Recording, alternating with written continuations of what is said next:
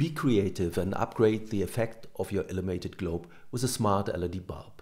In addition to the smart bulb, you need a router with Wi-Fi and a smartphone for the free app. The control also work with Hey Google or Amazon's Alexa. You can dim the brightness smoothly and set the color temperature from warm to cold white. Changing the color temperature is really fascinating.